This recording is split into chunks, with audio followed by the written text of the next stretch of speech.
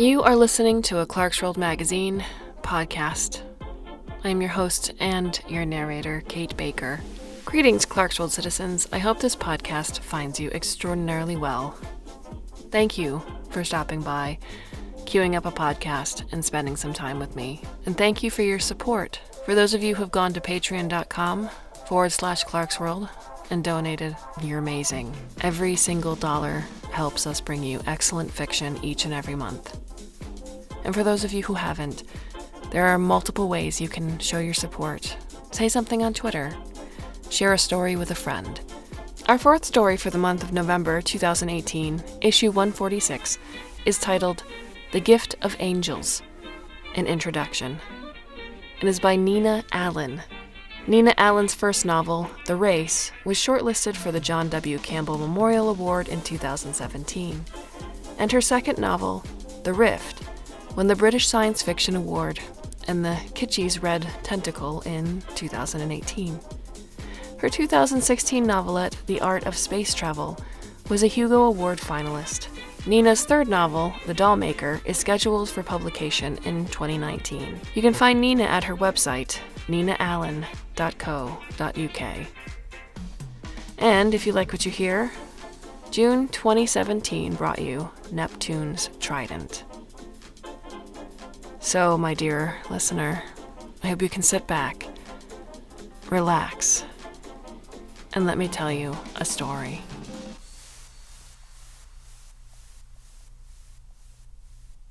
The noise outside his door made Vincent feel as if he were back in college, in the dilapidated hall of residence, where he had spent the first year of his degree course and where the corridor parties often went on until the small hours.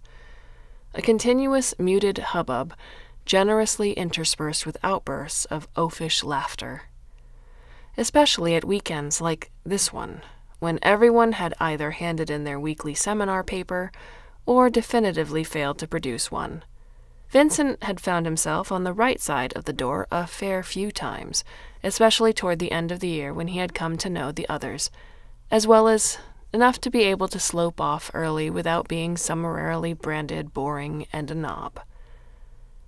Mostly he'd stayed in his room, simultaneously furious and indulgent, imagining them as any writer might imagine them standing around drinking unchilled white wine that tasted like goat's piss, and talking about nothing.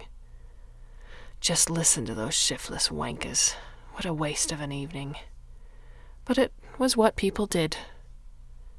At the age of 53, Vincent believed he had earned the right to expect people not to make that peculiar noise in the place where he slept and worked. He could, he supposed, throw on a t shirt and jeans and go out and join them, he would be welcomed now, accepted. The wine would be chilled. The students drank a better class of goat's piss in Paris. So there was that. He could even make a splash if he wanted, a moderate one at least. A sizable minority would have heard of the September Queen books. Those who hadn't read them would probably have seen the film adaptation of Cold Harbor. Vincent was someone people were interested in meeting, even if he turned out to be boring, and a knob. They were still interested. But he is not interested in meeting them. He does not want to know how they wound up in this converted nunnery pretending to be artists. He does not want to exclaim artificially over the beauty of Paris and how marvel it is to be here, finally. It is not marvelous, not right now because of that noise because he should have booked into a hotel instead, even though it would have been more expensive and less hip. He wishes they'd all just piss off. Goats piss off, in fact. That can't stay in, Vincent thinks as he writes it. He writes it anyway, then smiles. Maybe it can. That's how I was planning to begin the story, but I don't think it's right. When I started the project, I felt strongly that I should write down everything that happened, everything I thought, exactly as it happened and as I thought it. That I shouldn't edit my feelings or leave things out. Such writing embarrasses me, though. I don't like to be caught out being angry or not enjoying myself. I prefer to filter my impressions, checking each of them for excess before presenting them for scrutiny. That corridor party turned out to be a one off, in any case, a private view for a photography exhibition. Everyone was gone by eleven, which hardly counts as discourteous, let alone unreasonable, even by my draconian standards, so I'll begin it this way instead. My mother and father met in Paris. It was a fluke in a million. Sounds better, doesn't it? Less whiny, more demonstrably about something. Already we have two characters. Already I have conveniently provided my reason for being here. And here's the clincher. My mother was, is, Jocelyn Tooker, one of the six astronauts who took part in the first manned mission to Mars. You won't have heard of my father, but his name was Simon Colbert, and he was a secondary school art teacher. My name is Vincent Colbert, and I am the author of nine science fiction novels about the voyages of the space freighter September Queen. I'm not famous, not Harry Potter famous, not Game of Thrones famous, but successful enough to keep me writing, and, after the film came along, solvent enough to be able to take a trip like this and not have to worry too much about not just breaking the bank, but blasting the bank and myself into oblivion. I don't take trips like this, in the main, because I prefer to be at home. I still enjoy writing September Queen, believe it or not. I like wandering down to the seafront on an afternoon, watching a detective series in the evening, then Skyping with my friend Christina until we're too tired to speak. But my father died three months ago, and I've come to understand that if I'm ever going to write this book, it has to be now. Vincent is 53 after all, and you never know do you? My publishers weren't keen on Vincent Colbert as an author name. Too many T's, apparently. I write as Vincent Swan. Swan was my mother's second name and her mother's maiden name. Jocelyn Swan Tooker. It should have been Phoenix. My father always claimed that for him, the moment he first set eyes on my mother was like his favorite still from Chris Marker's film La Jetée, a moment struck out of time, as an ingot is smelted and molded from its ore. In the image he talked about, the woman's mouth is partially obscured by her hair as it blows back across her face. In my father's moment of epiphany, Mom's head is thrown back as she laughs uproariously at a joke made by one of her companions. They are seated around a table outside a cafe on the Rue Linné, in the fifth arrondissement. The sun glints off cutlery, coffee cups, the rims of glasses. My father is walking past them, away from the Jardin des Plantes, and toward the metro. Hearing my mother's laughter, he turns his head. He looks straight at her, gazing into her eyes as into a painting. In another life, my mother stops laughing abruptly, straightens her posture, and in a glancing sideways movement snaps my father, a skinny black man carrying a tatty looking rucksack, some random gawker, out of her existence forever. In this life, the life she is living, she stares right back at him, the laugh still on her lips. Her eyes, which in so many of the official photographs glint narrowly, with the directly provocative light of her mission statement, are wide open, liquid with sunlight, an invitation rather than a challenge. Who are you, anyway? she says. The local joke inspector. My father flustered mumbles an apology. He was just passing. He is no one. He is sorry. No, my mother says, and she has always claimed afterwards, according to my father, that she had no idea what came over her. She'd never done anything like that in her life before. She was never normally interested in anyone who wasn't part of her inner circle. Why would she suddenly accost a stranger in the street? I think you should join us. There's room. She points to a spare chair not beside her but opposite, barely two feet away across the table. My father swings his rucksack from his shoulders and, unaccountably, improbably, sits down. I still find it difficult to believe he actually did this in spite of all the evidence to the contrary. Simon Colbert was a shy man. Not a timid man, but shy.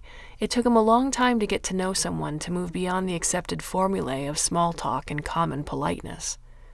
For him to sit down with a bunch of noisy Americans must have taken something, some reserve of intent he had not previously imagined he possessed. I'm Jocelyn. Joss, my mother says. She reaches across the table, shakes his hand. She begins introducing the others seated at the table, but for my father, their names flash past in a blur, never gaining traction. Simon, says my father. The short eye reveals him at once for what he is a Frenchman, though his English, learned from the age of six, his mother and father were both students of American literature, is perfect and spoken almost without an accent. Ah, Simon, c'est bon, someone says. Everyone laughs, including my father, from nervous relief. Joss, Simon is thinking. Her name is Joss. My mother is in Paris to celebrate the birthday of her friend Serena Stubbs. Serena, seated next to her at the table, has recently completed her doctorate in astrophysics. There are seven of them altogether, seven who have been friends since their freshman year. They meet up religiously, every 12 months, on one of their birthdays. Whoever's birthday it happens to be gets to say where. They're all earning good money now, and so these annual celebrations have become more extravagant. Serena chose Paris, and so Paris it is. They are sitting there in the Rue Linné because Michel, who majored in botany, insisted they go and visit the famous hothouses in the Jardin des Plantes. Simon Colbert is not earning good money because he is an art student. He has saved for this trip all year by working the night shift at his local supermarket, stacking shelves. It has long been his cherished intention to visit the Muséum National d'Histoire Naturelle. The Natural History Museum forms one of the key locations in Chris Marker's film La Jetée, a movie he has been obsessed with since the age of 16. Chris Marker was a journalist and filmmaker, one of the French New Wave, and yet, apart from it, an artist of ironclad personal integrity and obsessed with recording human existence in minute detail. His own existence remains mysterious, his place and date of birth a matter of contention. His films and writings came under scrutiny during his lifetime for having Marxist leanings. Some were even banned. A century later, his work still seems fresh, unrepentant, radical, perhaps because the methods he used montage and assemblage, voiceover were already considered obstinately anti commercial at the time of making. Marker didn't shoot films so much as create multimedia essays. He cared as much about the written word as for the photographic image. His films have the instinctive, lateral thinking logic of dreams, like dreams, they tug us in unexpected directions. Watching a film by Marker is like opening a scrapbook of our own memories. La Jetée takes place in the future. A third world war has devastated Paris. The survivors huddled underground, hacking out scant lives for themselves in the abandoned tunnels and galleries beneath the Palais de Chaillot. A sinister band of scientists prey off these survivors, capturing individuals and subjecting them to lethal experiments. The unnamed protagonist clings to memories of his childhood from before the war, and in particular the face of a woman he once glimpsed on the viewing platform at Orly Airport, a face that seems to encapsulate everything that was once beautiful and meaningful in human existence. The doctors ensnare our protagonist and force him to participate in their experiments in time travel. They explain that unless they are able to access technology that will alleviate the current crises, humanity is doomed. In order to do this, they are attempting to make contact with scientists from the past, scientists who know nothing of the disaster to come. So far, everyone they have tried to send back has either died or gone mad. The protagonist, they believe, has exceptional powers of recall. His memory of the unknown woman will act as a psychic anchor, enabling him to travel to the past and return with his sanity intact. La Jetée is just 30 minutes in length. Even if you have never seen it before, you will find something inevitable and timeless and poignant in the way it plays out. The man returns to the past where he recognizes the woman from the airport the moment he sees her. The two fall in love. They explore Paris together. The protagonist tells his lover nothing of the war that will consume them. The woman never questions where her time traveler disappears to or when he will return. One afternoon, waiting for him on the jetty at Orly Airport, she sees him shot and killed by a mysterious gunman one of the doctors from the future who has decided that our protagonist knows too much and must be disposed of. A young boy who happens to be at the airport with his mother looks on in horror. He sees everything as if in slow motion the man with the gun, the dying victim, and most of all the woman, her hair blowing across her face, the tenderness in her eyes bright enough to light up the world even as it is extinguished. The man, we understand, was the boy. The moment he clings to so fiercely as an affirmation of life is the moment of his own death. Apart from one brief motion capture sequence lasting less than five seconds, La Jetée is composed entirely of still images filmed sequentially in a kind of montage and overlaid by Marker's own voiceover commentary. Marker delivers his story simply and without affectation, like a reading you might hear on the radio late at night. The images are as devastating as the film is quiet. Paris destroyed, laid waste, frontline dispatches from an apocalypse that hasn't happened yet. In its terrifying visions of nuclear war, La Jetée is the quintessential Cold War movie, yet much of what we see reminds us of scenes we already recognize from World War II. Hiroshima and Nagasaki, reduced to rubble after the bombs were dropped. Hitler's orders to his general, Choltitz, to burn Paris to the ground. The doctor in charge of the time travel experiments is later referred to in Marker's commentary as the camp leader, whilst the scientists who monitor our protagonist's life signs whisper to each other in German. We should remember that when La Jetée was released in 1962, the audience's memories of World War II would still have been fresh, fresher than my own memories of checkpoints going up along the Irish border or of the day my father told me that NASA had lost contact with the second wind. They've lost the signal. That's all, my father said. That doesn't mean the signal has been extinguished. No one knows what it means, not yet. One thing I've never forgotten about that day is the word my father used extinguished. The unusual sound and texture of it a word he would probably never have chosen if he had not been caught in the grip of his own emotions. I was seven years old. I knew what extinguished meant. An image came to me of the fire extinguisher in the door alcove of my form room at school, red and rotund and bursting with latent action. The word still startled me, though, I think because I had never heard it used other than in connection with a fire drill. It was a book word, a dictionary word. To be put out, to be suppressed, to be starved of oxygen. starved of oxygen, I remember thinking later, that can't be true.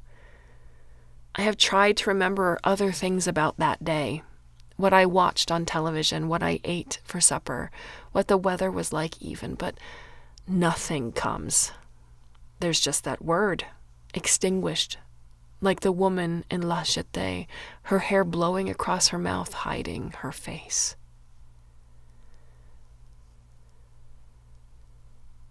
My father first saw La Jetée when he was still at school, as part of a course module on the history of French cinema. He already knew that he wanted to be an artist, but it was Marker's film that showed him the kind of artist he wished to be. Simon Colbert grew up in the department of Charente-Maritime in western France. He studied art at La Rochelle, mainly because it was easier for him to finance his degree while still living at home. He dreamed of being in Paris, though the more he learned of the attitudes there, a snobbish dismissal of anyone and anything that came from outside, the more he rebelled against the capital and yearned for elsewhere. He did consider returning to France, and in particular to La Rochelle after my mother, what? Took flight, took off, simply went. Although in the end he decided it would be better to stay where we were. On account of my schooling, he insisted. You seem so settled. And of course there was Claude.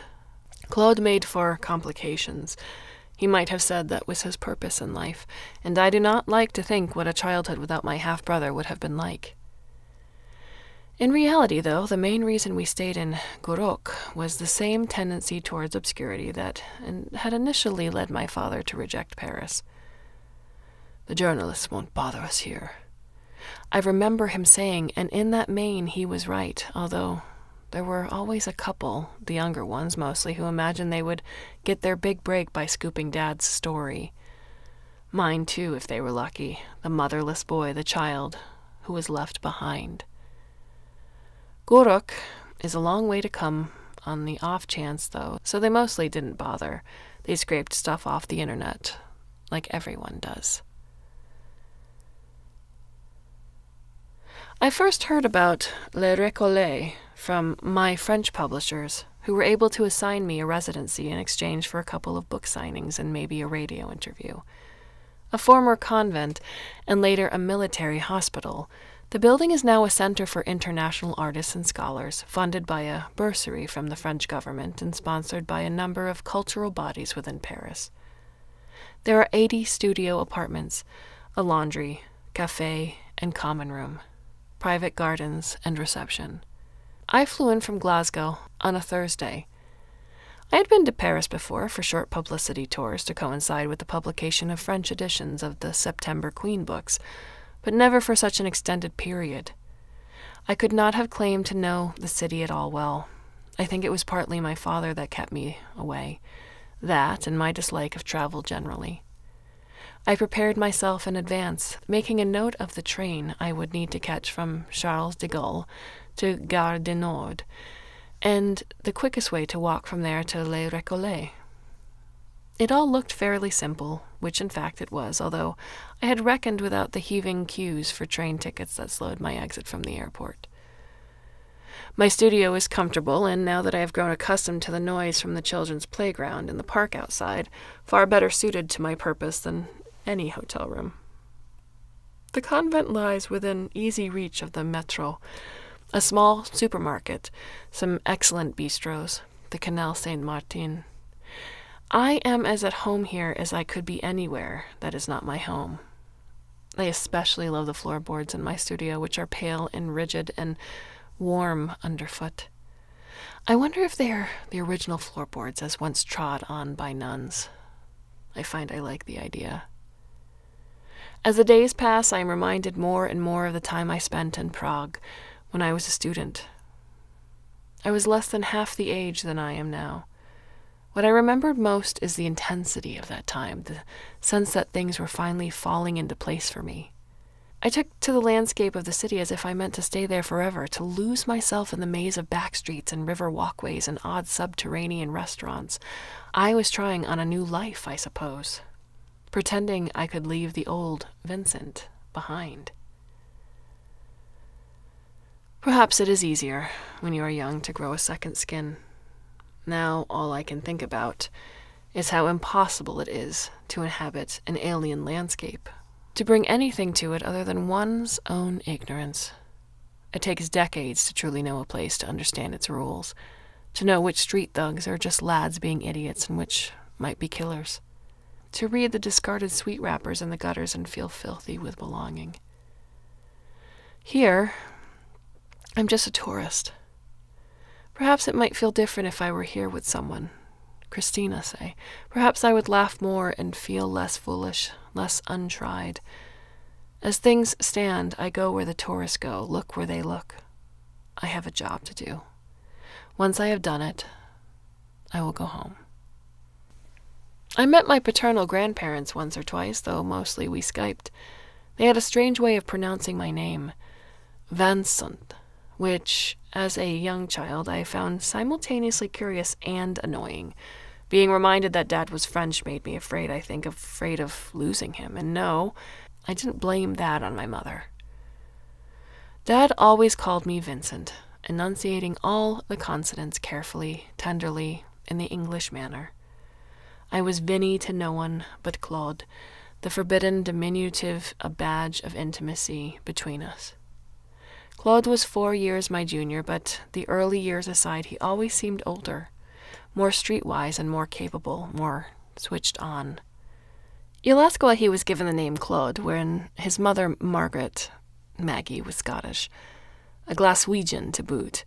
The only answer I can give you is the one she gave me later that she wanted to give her boy something romantic, a glimpse of his heritage. I just love the sound of it, Maggie said, and he looked so like his dad, you know, when he was little. It's true, I've seen the photos. I look like dad now, but I didn't when I was younger. I looked more like mum, or at least I like to think so. You'll remember our nine day king. How like his mother he was as a boy, how like his desiccated, world weary father as he entered middle age. Dad was never with Maggie, not properly. He turned to her, used her, some might argue, though they cared for one another too much for it to be that simple, during the months immediately following the launch. This will sound like I'm making excuses for him, but I have come to believe that Dad's affair with Maggie was his attempt to delay my mother's departure from his life, to prolong that sense of warmth, of belonging to someone. When he learned that Maggie was pregnant, he stopped seeing her. There was a period, about 18 months, I think, when he literally did not see her, just put money in her account with the bank reference baby. I knew nothing about Claude, not until I was six and he was almost two.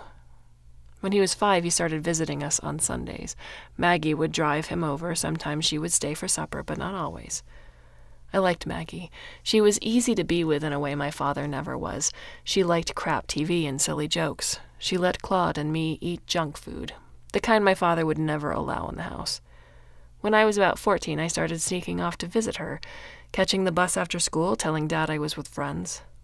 When he eventually found out what I'd been doing, he could hardly stop me. I was almost an adult, and Claude was my brother. The novelty of being in Maggie's home, chemistry textbooks open face down amidst a welter of film and fashion magazines, cereal cartons on the living room table, stacks of washing in the hallway waiting to be taken upstairs, Maggie and Claude constantly bickering like an old married couple explosions of anger and domestic crises, blowing in and out again like minor typhoons. Maggie handing me a peanut butter sandwich, telling me I was welcome to stay for supper. Okay, make sure you call your dad, won't you? And you know what he gets like.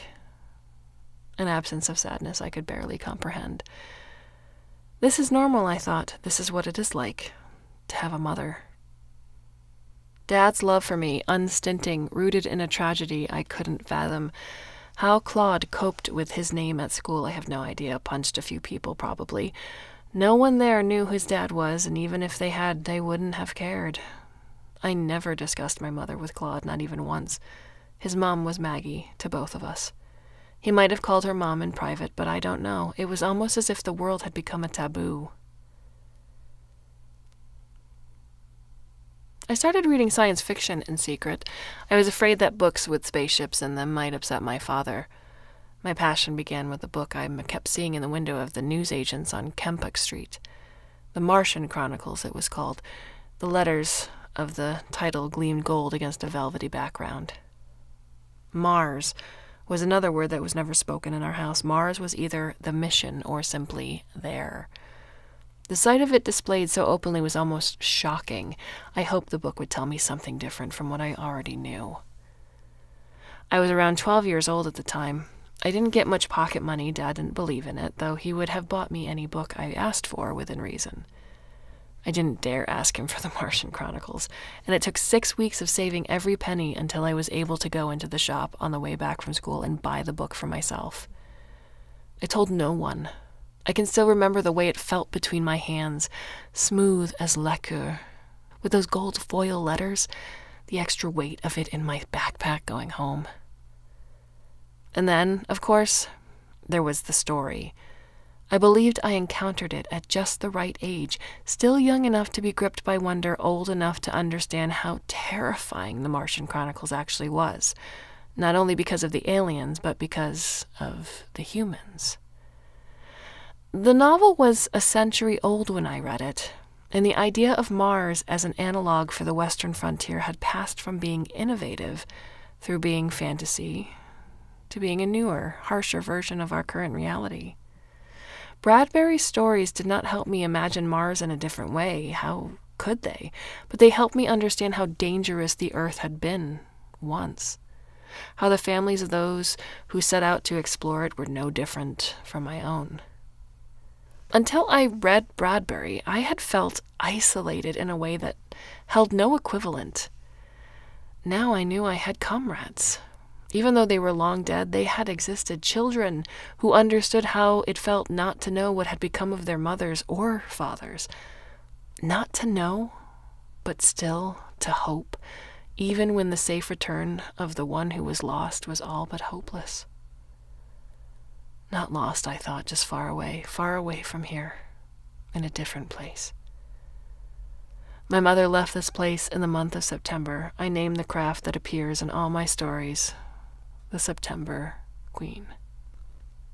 Of course, my publishers were keen to use my family history as a marketing tool. For years, I wrote, as I had read, more or less in secret, publishing my first short stories in small circulation magazines to little or more accurately no fanfare.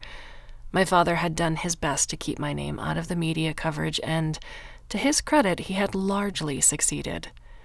No one had ever heard of Vincent Colbert, and when the first of the September Queen novels was finally accepted by a publisher, the only comment they passed on my name was to ask me to change it. It was only when my third book came out that someone, I never found out who, told my publisher who my mother was. They became giddy with excitement an enthusiasm they were forced to curb when I told them that although I would do nothing to stop them using the information and publicity material, I would not be answering any questions about my mother or my father, come to that, in interviews or panel discussions. I thought that was the smartest response given the circumstances, but over time I became less sure. The more the question was out of bounds, the more curious readers became. Fake stories sprung up everywhere. Rumors bloomed, proliferated, spiraled out of control. At every convention, every book launch I attended, there would always come the inevitable moment when some journalist would attempt to wrongfoot me and I would be made to look uncharitable or foolish. Not surprisingly, my publishers found ways to adapt the situation to their advantage. If they were forbidden to market my story, they would market my silence, especially since there were plenty who believed my silence was a publicity stunt in any case. As an author who lived alone with no hint of past scandals or expensive proclivities, I would otherwise have come across as pretty dull. The questions surrounding my mother provided mystery and poignancy. They provided the reason I had become a writer in the first place. Like my life in general, my reasons for breaking that silence now are undramatic. As mentioned previously, I am getting older. None of us knows how much time is left to us or what that time will be like. More than anything, I want to get to know her. Jocelyn Tooker, the person, the explorer, the spacewoman, the wife, even. I want to try to understand who she was. I haven't told my publishers yet. I want my discoveries to remain private for as long as possible. Will this be a memoir? I hope not. I prefer to call it The Exploration of a Life. On my third day in Paris, I take the Line 7 metro to Jussieu and walk down the Rue Linné to the Jardin des Plantes. It occurs to me that I am literally following my father's footsteps, and I wonder if he in turn had imagined himself as someone else the unnamed protagonist of La Jetée, for example, who went to the museum in search of lost time. I begin to understand that this is what time travel actually is. We can each of us go back in time a little. We extend a hand to the one behind us and they travel back a little further. It is a slow process and deeply inhabited. A process of necessary sharing that cannot be bypassed. The only way we can explore the future is to reinvent the world. On my 21st birthday, I received a letter from my mother. It was her handwriting on the envelope, although there was no way I could have known that. The stamp was new. The postmark, Greenford, was dated the day before. It's rare to receive a personal letter through the post these days, less so back then, though it was still unusual enough to be noteworthy, whoever the letter was from. My father still wrote letters, to his university friends, his parents, and I knew some people at college who were into snail mail as a statement of retro hipness. But other than birthday cards from Maggie and the odd postcard from Claude, sent in a moment of cheery camaraderie from wherever he happened to be squatting, and usually displaying signs of having been used as a beer mat, I couldn't remember the last time I had received one. Perhaps I never had. The letter's arrival unnerved me, an image flashed into my mind of the dove bearing the olive branch in Zvyagintsev film, The Ark. My darling Vincent, the letter began, and for a moment, just a moment, I thought the letter must be from the man who had recently left me. A computer programmer named Merrick, who had suddenly decided to join the Jesuits. I felt elated, thinking he must have changed his mind, or at least relented enough to agree to a final meeting but Merrick never wrote in longhand. I don't know if he could, even. And he had never called me darling. I let the thought go, plowing up the pain with the twists of its body as it slithered away. My darling Vincent, today is your birthday, and as I sit here writing this letter, I am intrigued, honored, delighted to wonder what kind of person you have grown up to be. I find I can imagine you quite easily. Of course, it could be that I am simply picturing your father as he was at your age, or myself, and projecting that image onto you, but I hope not. I trust that it is you I see, that this, this gift of angels, has somehow been allowed as a dispensation because I know already that I will not be there to congratulate you, to embrace you, to celebrate this day with you myself. You will think it strange, given what you know of me from videos, from articles you might have read, from your father even, that I can speak of angels, that I would even consider the possibility that such beings existed. I would not admit this to everyone, this is just for you and me, but I do believe. Not in the avenging biblical angels with their flaming swords, but in something the microcircuitry of the universe, if you prefer, miracles we grope for as moles with their spade like fingers dig the soil for grubs. Under the microscope, the grubs are revealed as mythical beasts, their subjects massed in a drop of rainwater, thrashing their limbs in awe as they ascend to the promised land. Until we invented the microscope, their world and everything in it remained invisible. Will you understand me any better if I tell you that I am drawn? compelled to dedicate my life towards discovering the universe. It sounds ridiculous, perhaps, hubristic, but it is the truth, my truth anyway, the best I can give you. I don't want fame. I know fame will come, uh, of a kind. It is the drug used by some of my comrades on the mission to conquer their fear, the knowledge that their names will go down in history.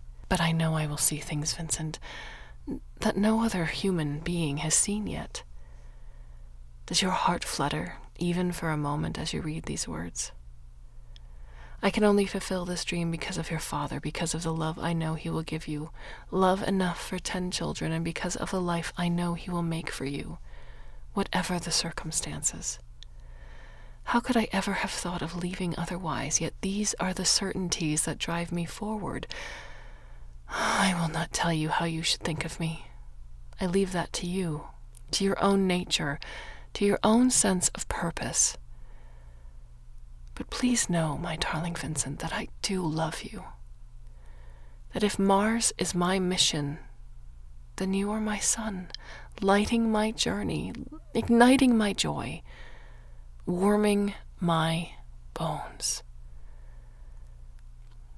With all my heart, forever.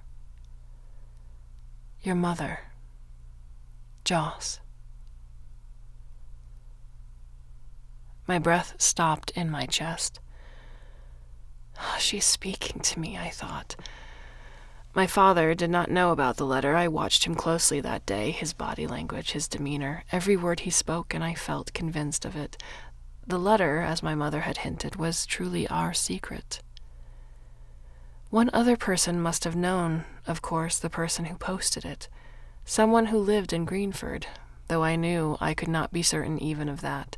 Eighteen years ago, my mother had given someone, a friend, a relative, the task of posting a letter on a particular day some two decades in the future, no matter what happened in the meantime. Someone she had trusted enough to feel certain that trust would be repaid. A person she trusted as I trusted Christina, although I wouldn't be meeting Christina for another ten years. For the first time, I felt real curiosity, an active desire to know what my mother had been like, who her friends had been. That simple act of hers, writing a letter in the past to be delivered in the future, told me something important about her, something more personal than anything I had been told or learned in secret up until that moment. The Grande Galerie d'Evolution contains a vortex of beasts, they flood across the main concourse, a great river of migrating animals that is supposed to represent the ecology of the African savanna, but reminds me more of the two by two procession into Noah's Ark. Or better still, the diagonal stripe of endangered species that marched across the covers of a book I had when I was a child. Vanishing Animals, it was called, its light blue background color contrasting vividly with the striped and tawny bodies of its precarious subject matter. The screams of children mingle indiscriminately with the recorded whoops of gibbons, the roaring of lions. The hippopotamus is vast, vast and black, like an armored limousine, or like the alien sea tanks that rise up out of the ocean in the Kraken wakes.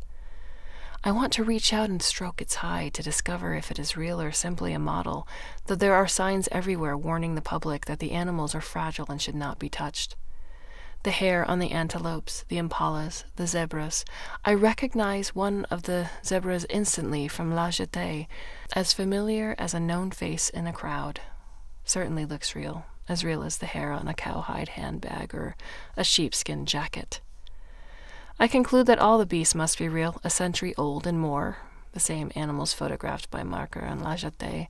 I cannot decide if the knowledge is calming or grotesque. The light is also the same, the ochre, honey glazed dimness of a watchmaker's shop or a corner tobacconist's, the kind of businesses that continued to thrive right through the middle years, the years between the end of the Second World War and that first moon landing, but that are now gone entirely. We imagine we remember such places from childhood, buried splinters of memory, whereas, in fact, we know them only from films, and I think about the light in La Jetée, the rows of vitrines, the march of dead animals, the tendency to show rather than tell. Museums these days are all about telling. Children are encouraged to touch screens and push buttons, to measure themselves for size against a goat or a rhino. Museums are interactive now, even this one, even though it is beautifully done and with that magic light preserved. We are told that children will take no interest in dusty cases and difficult words on faded strips of yellowing paper. That if our march toward knowledge is to continue, we must change the nature of our museums to engage their attention. Children like moving pictures and recorded whale song and flashing lights. I suppose they must be right.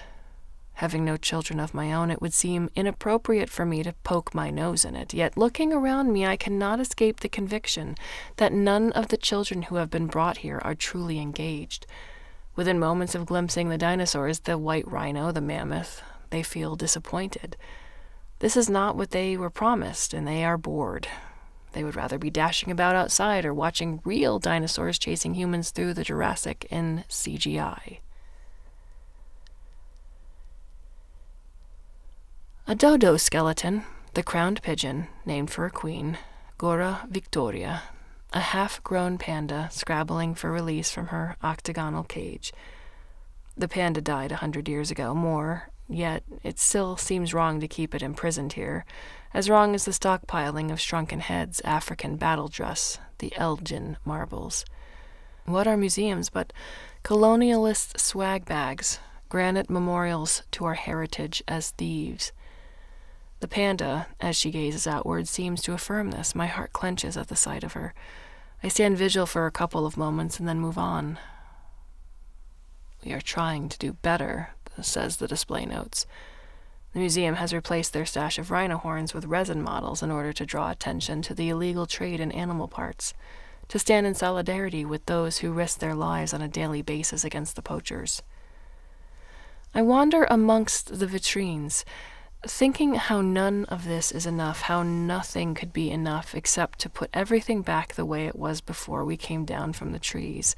I think about how a museum is, in spite of everything, a place of wonder, how no interactive display, no matter how ingenious, can be weighed against that moment when a certain child, my father, say, finds themselves transfixed before a case of beetles or seashells or a faded piece of parchment embroidered with the signature of Carl Linnaeus, and realizes they have found that elusive something they were looking for. That light in the mind, that movement, how can one explain? My mother hated museums, my father told me. She used to say they were like coffins. Coffins for information stuffed with the desiccated corpses of our crimes as a species. She preferred the internet, all this useless stuff, she said. All those dust mites. She didn't care for art museums either. I finally find what I am looking for in the Espace Historique, a tiny section located way up on the third floor displaying some of the museum's original specimen drawers and, open at the title page, a first edition of Darwin's On the Origin of Species. Some original hardwood vitrines, their contents hand labeled in sepia, and showcasing the laws of natural selection in moths, the common scallop, the common earwig. I reach out to touch the glass. I cannot help it. The hairs on the back of my neck are standing on end, and I can feel both of them here, my father gazing upwards, his face bathed in the golden light of the museum's interior, yearning for the past to be transposed upon the future, even as he knows it is too late too late. The shot has already been fired.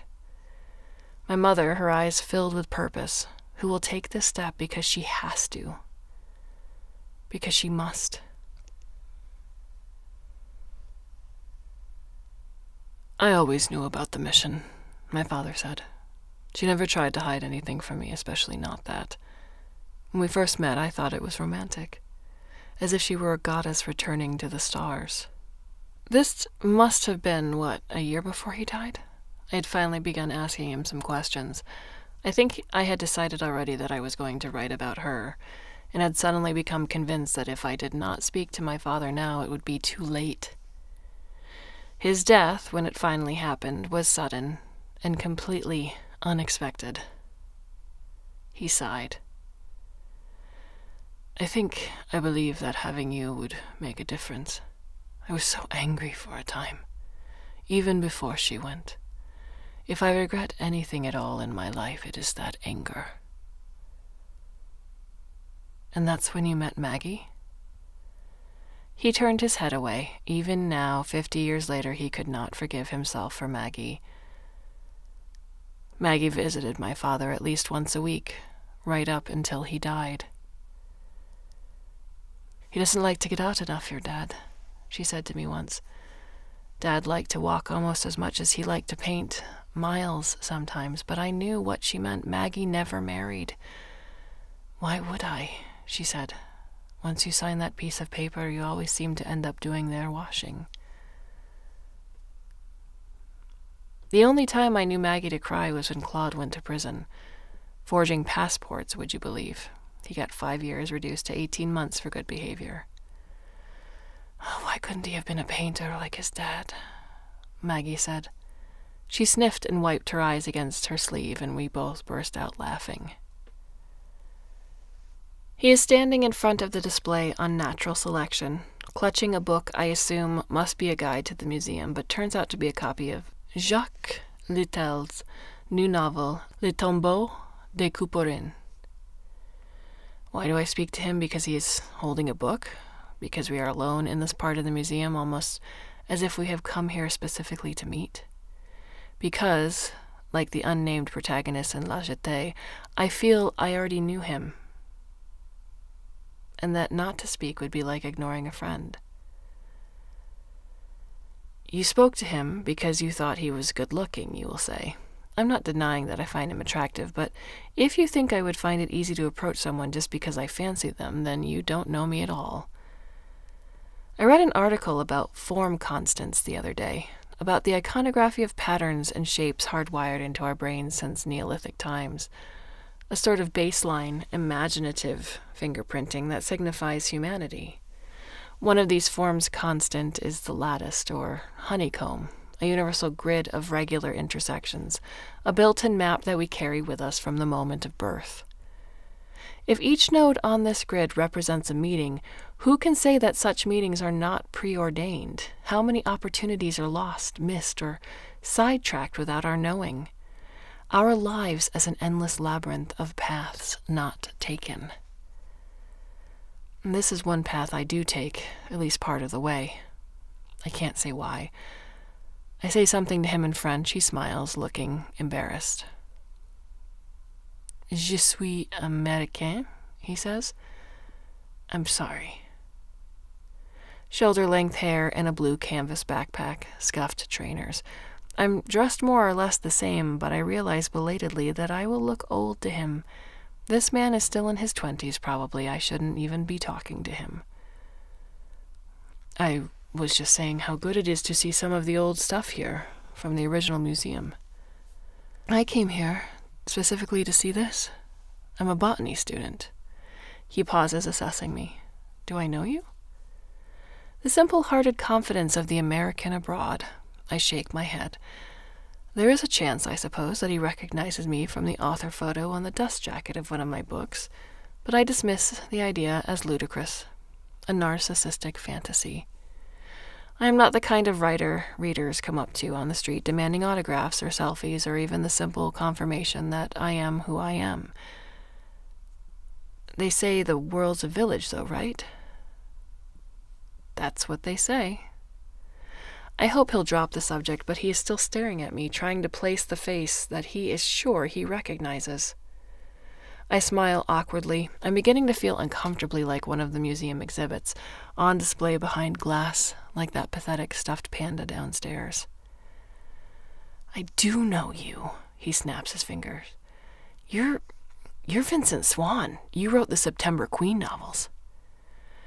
Well, technically, I'm still writing them. I can feel myself blushing, the color flooding into my cheeks like an injection of ink. I feel as if I have been caught out in an act of deceit, as if I am not Vincent Swan at all, or at least not the Vincent Swan this young man is hoping for. Oh man, his face lights up. I love those books. I've been reading them since I was a kid. He speaks as if this, his being a kid, were a long time ago ancient history is this an attempt to place us on an equal footing, or merely his way of saying, oh, geez, you must be ancient now? The impossibility of this conversation, of any connection between us beyond the fleetingly casual, is curiously calming. I'm glad you like them, I say. I'm here in Paris doing research, actually. I'm careful not to say I'm researching a September Queen book, even though that would be a lie only in the most literal sense. If I were to tell him more specifically what I am here for, he would probably be excited. He would be bound to ask questions, and I don't want that, not while the material is still mysterious even to me. For real? He hesitates, and for a moment I feel positive he is going to ask if he can take our photo. Then he steps backward as if consciously rejecting the impulse. I, I hope you don't think this is weird, but could I buy you a coffee? He says instead. If I'm bothering you, you just say. I really don't want this to be weird. No, I say. I mean, no. It's not weird. I'd love a coffee, thanks. He laughs, and so do I, I'd like to imagine we are both overcome by the strangeness of the moment, its randomness, as if he has singled us out from the maelstrom of time. I can see this isn't the case. He is looking embarrassed again, wondering if he's made a mistake and what the hell is he supposed to talk to me about. I am using him as a conduit for old memories, Merrick, Denny, and feeling terrified in case he suspects even for a second that I am seeing him this way. The light, though, is beautiful, and he is beautiful in it, like a greyhound, like a roebuck, like and what corny stock images they are. It comes to me from an odd side avenue of memory that the bar of my old student union was called the Roebuck. And a fact I have not thought of in years and maybe decades. I wonder if it's still there. We step out of the museum, and as the daylight hits our faces, I wonder if he might not be a little older than I first imagined. He could be 30 anyway, at a push. David Peoples and Janet Peoples, who wrote the screenplay for Terry Gilliam's film Twelve Monkeys, were not fond of hearing their movie referred to as a remake. The credits state that Twelve Monkeys is inspired by La Jetée, and in the documentary on the making of Twelve Monkeys, The Hamster Factor, the Peoples seem eager to confirm that Marker's film is a masterpiece and therefore unique. They seem a lot less happy to talk about how closely 12 Monkeys follows its inspiration in terms of its content, but watch the two films back to back and you'll see how this is so. The way Gilliam mirrors the visual imagery is particularly striking. The peculiar goggles worn by both sets of doctors, the museum, the department store with its roof smashed in, in an almost identical pattern to that of the destroyed roof of the Natural History Museum in La Jetée. I don't see anything wrong in this. It's a magnificent act of homage on Gilliam's part. So why does no one admit it? My father hated Twelve Monkeys. He told me the film had been the subject of one of his first ever arguments with my mother. I still feel bad about it, he said. She thought she'd been so clever, finding this film for me, and I watched half of it and then turned it off. I told her it was a travesty. She tried to make a joke of it because that was the way she was, always wanting to see the good side of things. But I said that when someone steals a perfect work of art and makes a cheap mockery out of it, then that's almost as bad as plagiarism. She laughed and I stormed out. I was an arsehole. What my father didn't tell me was that my mother had written about, or at least obliquely referred to, the argument in her diary. There was a list she wrote, Ten Guilty Secrets No One Knows About Me. At number seven, she wrote, I like Twelve Monkeys much better than La Jetée. I think La Jetée is bleak and pretentious. Twelve Monkeys is really clever, and I love the ending. Don't tell Simon. The don't tell Simon is underlined several times, the exclamation mark seeming to indicate that the joke is still running. Do you still love her? I asked my father. Of course. He didn't hesitate, even for a moment. Jocelyn was the only woman I ever loved. I knew she would be angry with me for that. She would have wanted me to stay with Maggie, but your mother was right. I'm a fool. I didn't even see Twelve Monkeys until after Dad died. The first time I watched it, I agreed with him. The film was a bigger, noisier, longer version of the same story, but it didn't really add anything to the original. It gave the action a political background, but so what? La Jetée was magnificent precisely because of its simplicity, because it didn't rely on extraneous detail and flashy stunt work. Since coming to Paris, I watched Twelve Monkeys three times more, and don't tell Simon. I'm beginning to see my mother's point of view. Remember when Cole and Railly are hiding out in the movie theater? Hitchcock's Vertigo is playing in the background, and Cole says something about how the movie doesn't change because it can't change, but the film has grown older, and so have you. Every time you see it, you notice different things. It's not that I admire La Jetée any the less. It's more an acknowledgement that 12 Monkeys is doing something different and doing it well. The film is beautifully scripted, and the way Gilliam balances the screenplay with his own directorial vision the trail of visual clues, the use of music and intercut film soundtracks, seems proof of not only how he clearly understood Marker's intentions, but of his being daring enough to riff off of Marker, to follow his own instincts, to be a little bit vulgar even. And like my mother, I admire the ending. It's it's a good ending. An American ending, my father would scoff, and maybe, but why not? What is so vulgar about hope? One thing no one seems to remark upon in their comparisons is that there is no jetée in Twelve Monkeys. There are no public viewing platforms at airports now, and there haven't been for decades. You can't get anywhere near the airplanes unless you're booked on a flight. To make this scenario believable, Gilliam had to shoot the scene with a gunman inside the terminal building instead. As I sit here writing this, I realize the ending of Twelve Monkeys has the same kind of effect as what I've been trying to achieve all these years with September Queen.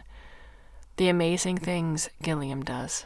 The pattern of tigers on Cole's Hawaiian shirt, for instance. I love stuff like that. We sit down at one of the tables outside one of the cafes on the Rue Linné. The sun is shining, a rich autumnal gold that echoes the ambiance of the museum. I do not know if this is the cafe where my mother first met my father because my father didn't tell me the name of it. Perhaps he forgot. Just that it was one of the cafes on the road leading down to the Jardin des Plantes. Even if he had remembered the name, I realized the cafe would most likely have changed hands by now. I am in the right ballpark, though. Whichever way you look at it, I am less than a hundred meters from where they were sitting. I'm Stuart, by the way, Stuart Pretty.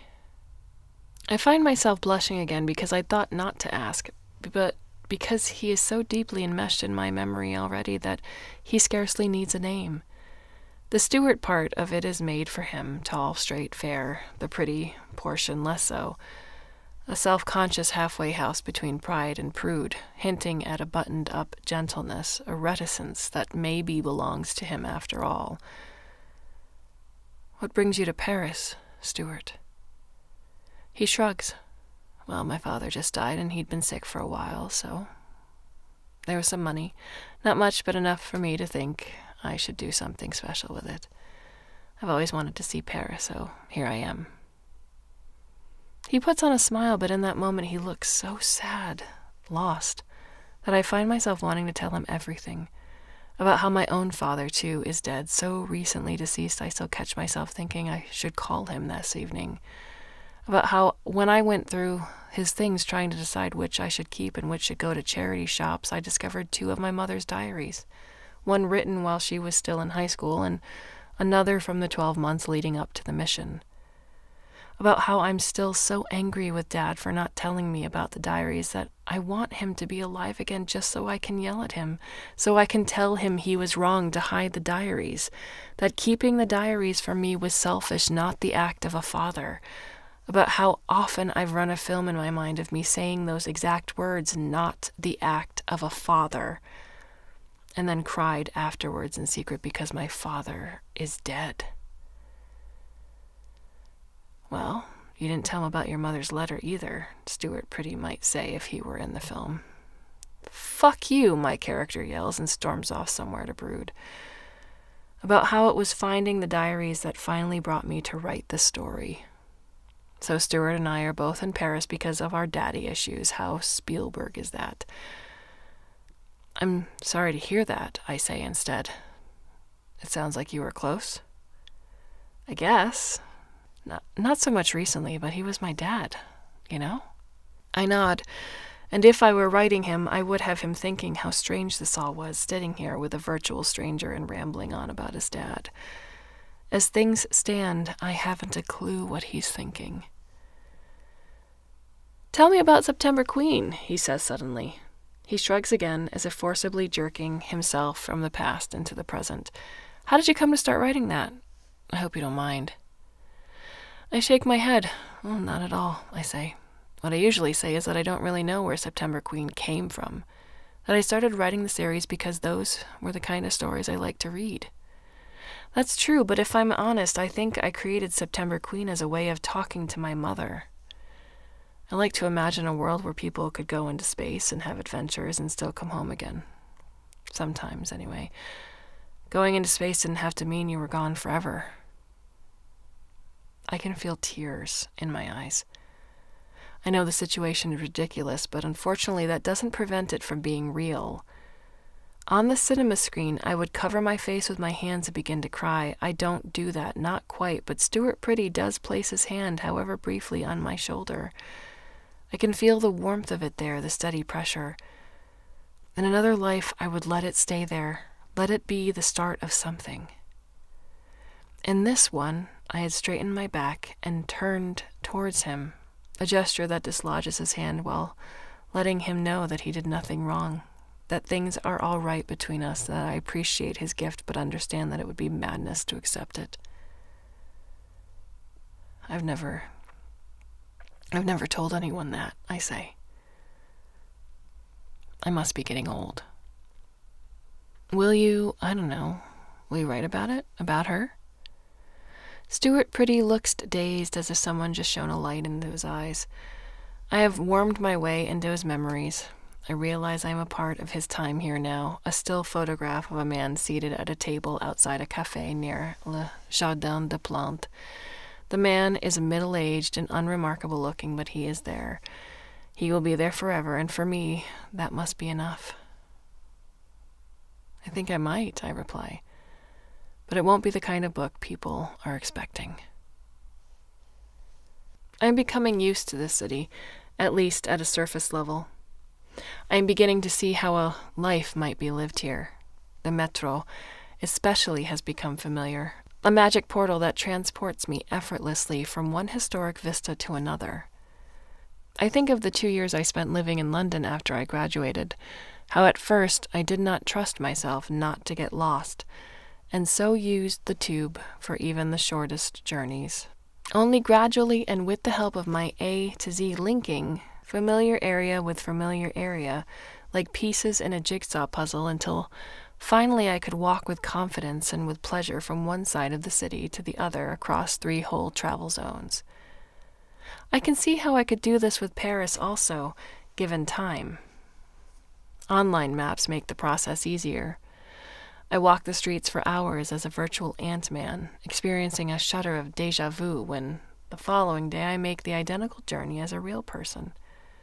Only my dreams, intense and disturbing, hard focused on events that never happened and on people I haven't seen or spoken to in years, still hint at my sense of dislocation from this world, my desire to return to where I properly belong.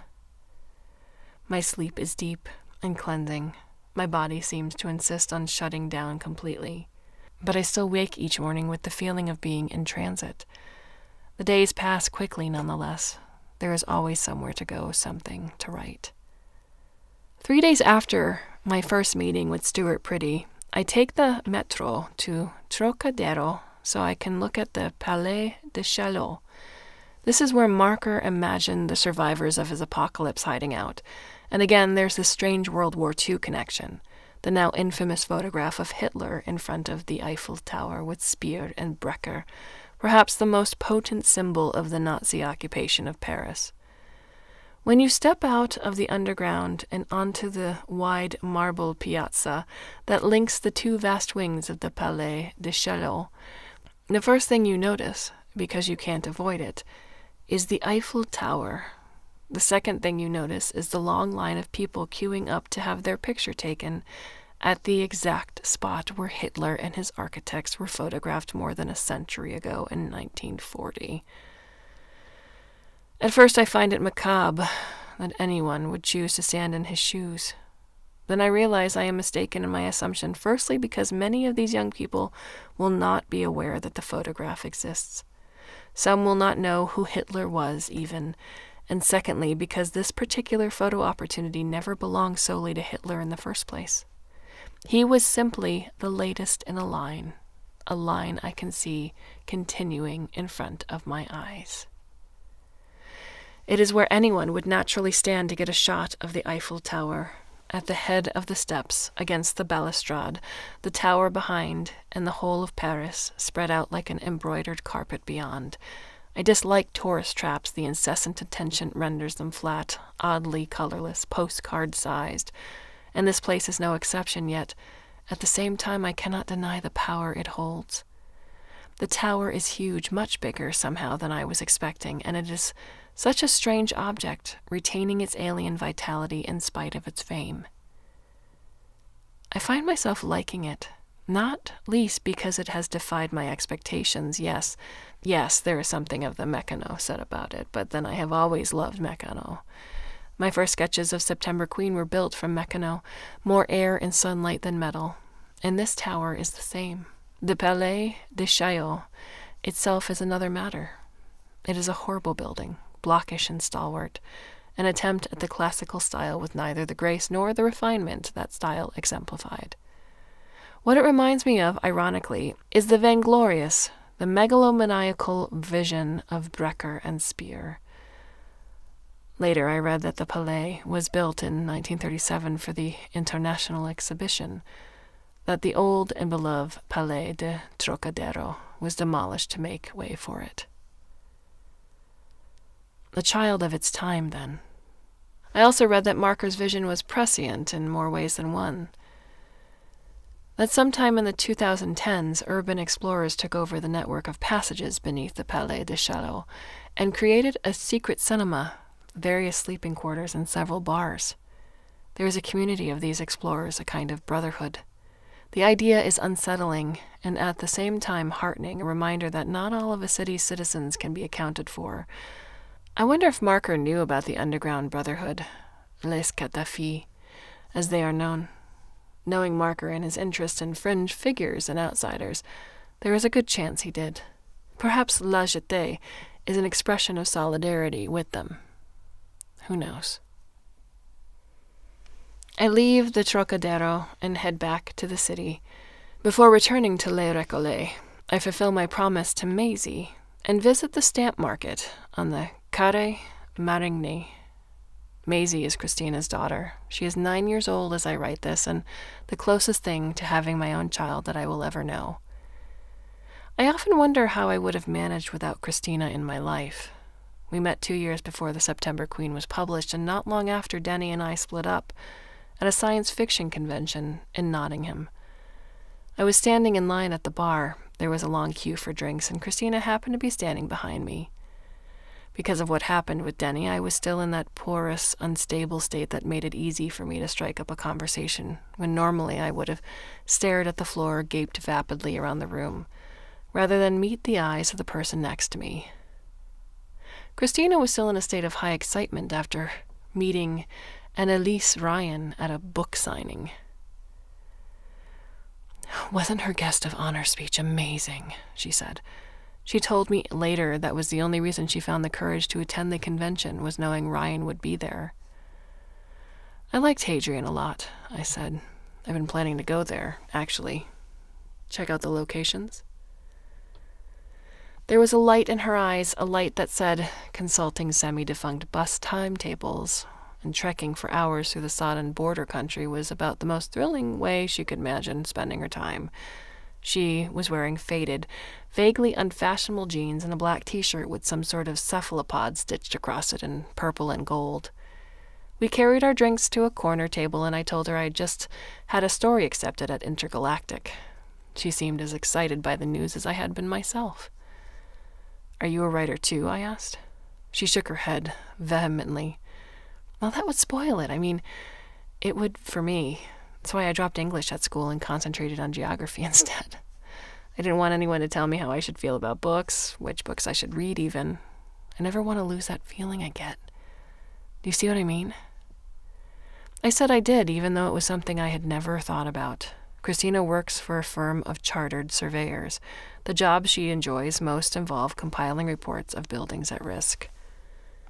The places I get to see, she still says to me often. We did the Northumberland trip the following summer, staying in grotty bed and breakfasts and rooms above grotty pubs we liked pretending were haunted. Perhaps some of them were. Maisie's father doesn't even know he has a daughter. Maisie is still too young to mind about that, but she will, I know she will. Maybe I'll be of help to her when that time comes, maybe I won't. There is every chance she might even blame me for not insisting Christina should tell him she was pregnant before he flew back to America and to the family he had already had there. So Maisie is half American like me. Her new passion is for stamp collecting, a hobby she pursues with a focus and a seriousness that might be disconcerting if it wasn't so Maisie.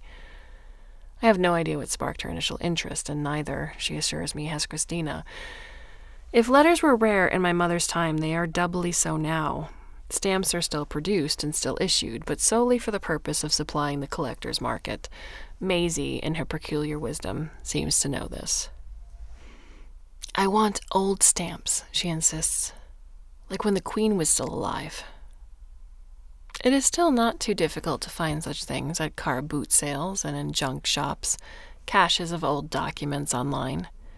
Most have little value, but this doesn't seem to bother Maisie, who has already filled two albums as well as a sizable number of envelopes she refers to as swaps. She seems unable to articulate as yet exactly what it is about his hobby that so entrances her. Or perhaps she could, but doesn't want to. Perhaps her delight feels too private. When I ask her if any of her classmates collect stamps, also, she shakes her head and glances quickly away. What she will talk about incessantly is the provenance and individual qualities of individual stamps, the year of issue and relative rarity, the occasion or personage it was issued to commemorate. How she keeps all this stuff in her head is another small miracle, I have no knowledge of Philately myself before Maisie, no interest in learning, but I love hearing her talk, this eagle eyed professor in a girl's body. I have told her I will try and bring her some stamps from France. I want to keep my promise if I possibly can. The stamp market is in the Carré Marigny. I understand that the market is famous, that it has been going for more than a century. Nonetheless, when I emerge from the metro at Champs Elysees, Clemenceau, I feel convinced that I have come to the wrong place, that there can be no stamp market here. The sudden barrage of tourists and traffic is bewildering. I am swept across the street in a wave of sightseers just as the lights change, with barely any time to confirm that I am headed in the right direction. The Avenue de Marigny, a small park on my left, as the map suggested. The tourists leave me stranded, streaming off upriver toward the Place de la Concorde.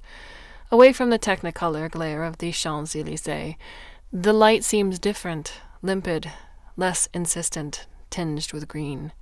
And there, lining a narrow graveled cul de sac bordering the park, is the stamp market. A broken, uneven line of covered stalls and trestle tables, a static carnival, a hushed breath of intimacy in this public place a phenomenon so out of time it appears sepia tinted, a postcard of itself. Customers stroll from stall to stall beneath the overhanging trees. You can see the market for yourself if you go on YouTube. Just search for Charade Stamp Market, and you'll soon find a clip taken from near the end of the 1965 spy caper starring Audrey Hepburn and Cary Grant, shot on location at the Marché des Timbres in the Carré Marigny. The market now includes stalls selling pin badges and used phone cards and movie merchandise, but the stamps are what people come for, and even in a few brief moments, the film does a good job of capturing the market's ambience. What surprises me most of all is how many customers there are. All these people still interested in stamps, still knowledgeable about them, still swapping stories. They are not all old people either. I imagine some of the younger customers have never stuck a stamp on an actual letter in their lives. Many of the stamps on sale seem prohibitively expensive. I am made nervous by my inexperience, my inability to tell a bargain from a costly mistake. I linger in front of one stall in particular, my interest caught by a line of shoe boxes filled with old letter envelopes, on sale for a euro each. The stamps on the envelopes are all postmarked, I know already from Maisie that this makes them more valuable. As I shuffle through them, I find myself more captivated by the envelopes themselves than by the stamps, crumpled and blotted, many with rips and other unidentifiable marks. Some are stained with coffee rings, their faded brownish arcs bisecting the handwriting beneath. Addresses in London, Rome, Luanda, outlying districts of Paris that I will never get to see.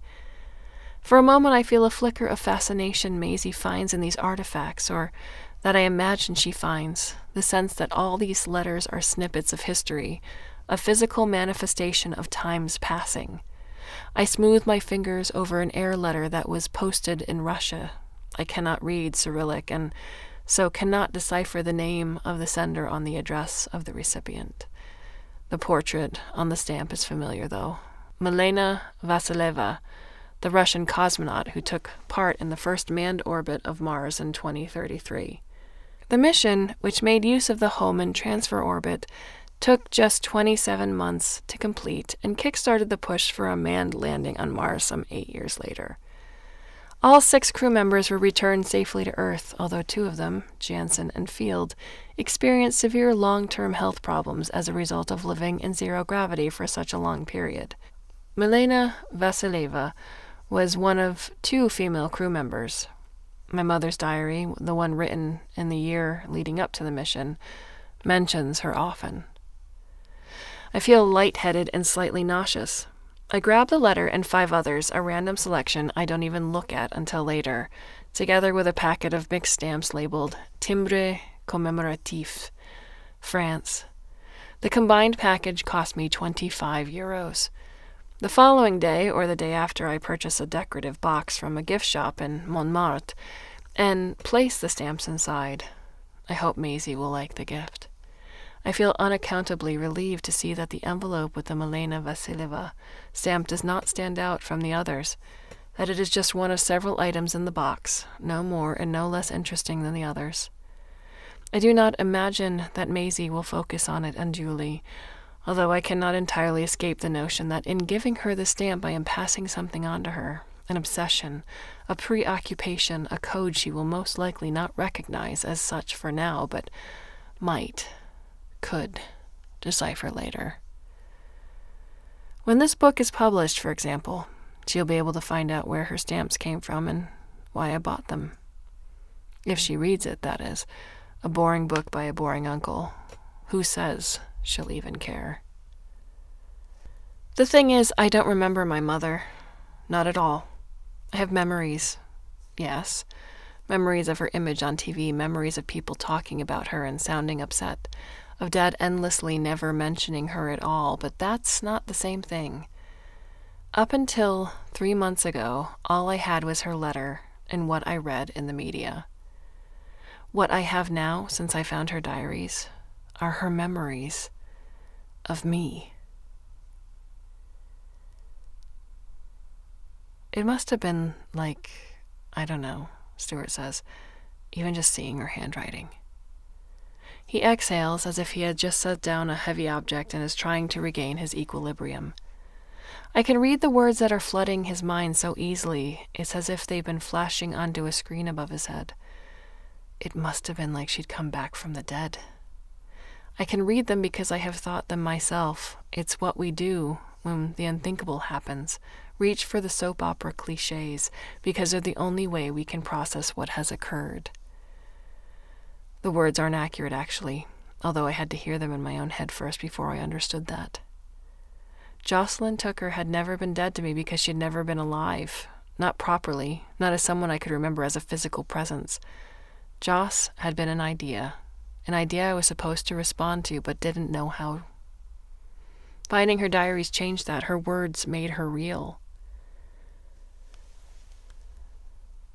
When Stuart called and asked if I'd have dinner with him, I said yes, but only if he'd let me pay. Dress up, I said. I felt like an idiot as soon as I ended the call. What if he had misconstrued me? What if he didn't have anything to wear except a t shirt and jeans? As it happens, I am right, except the jeans are skin tight Armani's, and the t shirt is of the kind you see on runway models. His hair is combed back from his forehead, and I see he is wearing a single drop earring a beautiful gold skull. Fancy, I say quietly. He laughs. Not fancy enough. I was worried they might not let me in here without a tie. The restaurant I have chosen for our rendezvous is on the side street near the opera, one of those places you read about in Sunday supplements, and ridiculously expensive. But why not? I'll be leaving Paris in less than a week. I am aware of myself constructing a memory, but there again, why not? Later, as we are finishing our main courses, I want to tell Stuart that he is the first person apart from Christina that I have told about my mother's letter. But that would mean explaining Christina, and I find I don't want to talk about her. Not tonight, not now. Instead, I ask him what comes next for him, what he is intending to do when he returns to the States. Finish up my master's, apply for jobs, he shrugs. I want to go and work in Alaska, actually, so long as my sister's okay with that. She and Dad were close, and if she'd rather I stuck around for a year, I'll keep on with the gardening work until she's more settled. But hey, I think she'll be fine. Alaska? Yeah, forestry management. I love it up there. Once or twice our hands touch. When eventually we are outside on the street again, I think, I wonder about kissing him, and then think again. We'll be keeping in touch, right? Stuart says. I don't think that's a good idea. I tell him what I really want, which is for him to delete my number on his phone right now and then go back to his hotel that we should resist the temptation to try and stay in contact, that this should be it. I I want you to I want you to be I stammer but never finish the sentence, which is pretty corny. I want to think of you over there in Alaska reading my books and living your life and sometimes wondering how I am. Does that make sense? His face is partially in shadow and hard to read. After a moment, he gets out his phone and I see him scrolling through his contacts. He touches the screen once, twice. Done, he says. Does he get it? I can only hope so. I hope he's not angry or upset. If he is upset, I think, for this moment at least, my heart would break. We stand there in the street facing each other in the silent space outside the restaurant. After a moment, we kiss after all. Then Stuart Pretty turns and walks away. I watch him cross the road heading towards the metro. He does not look back. I think this is something you do, the same as when you broke up with Denny. It's as if you can't allow yourself to believe in the future, as if. As if what? Having my mother leave me for Mars when I was three made me terrified of commitment? A convenient fiction. But I know it's bullshit. The truth is that I am happier alone. I have been for years. I work better that way. Two days before my return flight to Glasgow, I take the metro back out to Jussieu, walk once more along the Rue Linné to the Jardin des Plantes. I do not buy a ticket to the museum. I have seen what is in there. I sit on a bench in the gardens instead, watching the people come and go, and wondering if I will ever visit this place again. After the Indian summer of my first fortnight in the city, the temperature is beginning to fall, and for the second time in the last three days, I am wearing my puffer jacket. The sun is still bright, though. Last night, when I Skyped with Christina, she told me frost had been forecast. I am longing to be home. Now that I have finally made the decision to write my mother's story, I am eager to begin the work in earnest the gathering of information, the research, the interviews, the gradual piecing together of a life. Paris has been what? An anteroom, a prelude, a space to draw breath, a test of nerve, even. I have never tried to write in this way before. Am I capable? Let's see. My father once said to me that he went to Paris with his heart full of dreams. He expected that trip to be the beginning of his life as an artist, a kind of baptism. I've always imagined my mother's time in Paris as a joyful time, an inconsequential but happy episode, a celebration with friends before diving back into the business of reality. Her meeting with my father was pure happenstance.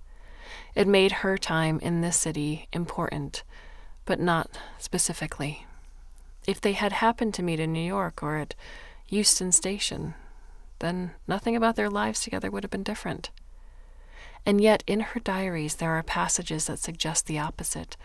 A trip to Notre Dame, where she lit a candle, she said, for all of us, for the danger we face. A memory of an historic tree in this very garden, Pinus nigra, planted by Antoine Laurent Jussieu in 1774. I feel I want to cling to this tree, to communicate with it somehow, to wrap my arms around its trunk and whisper, Sorry, sorry, sorry, oh. you're so stupid. As if Paris, for Joss, was the culmination of something, the moment that decided her, the end of her life here on Earth. I think of her like Marker, imagining the ruins of Paris and feeling a woe so raw that she cannot act. My father caught in the final, future moments of his own enchantment.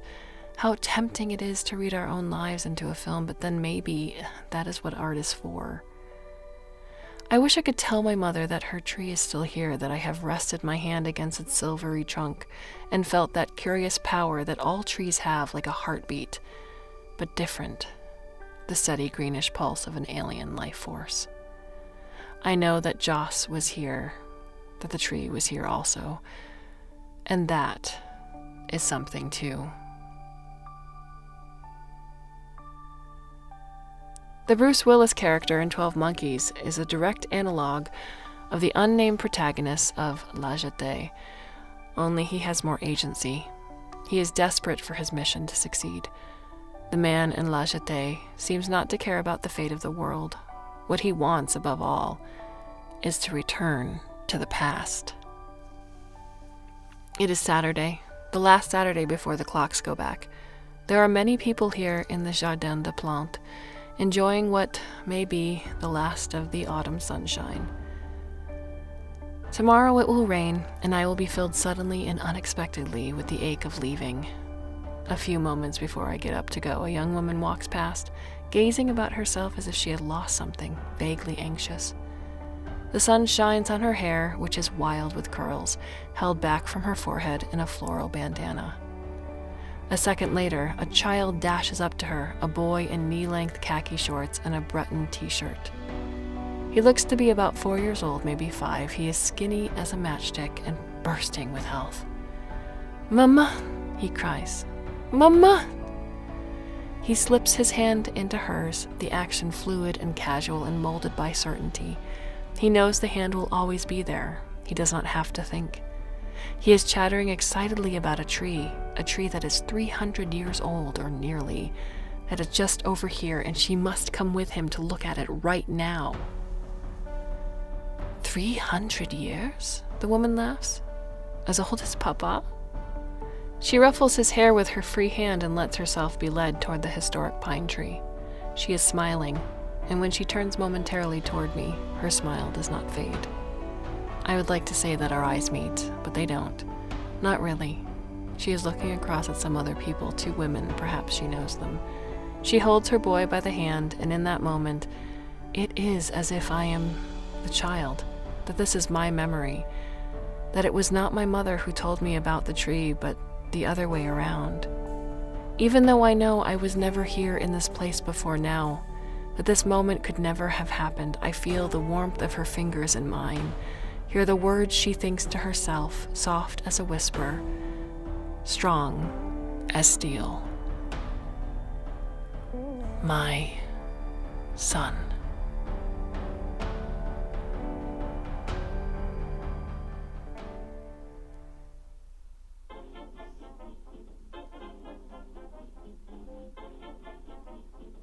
To Sylvie Martini, Jean Hubert Gallon, Caroline Boisdet Bernard, Olivier Chaudenson, and everyone at La Maison de la Poésie and Les Recollets for their invaluable help and support throughout my Paris residency in 2017.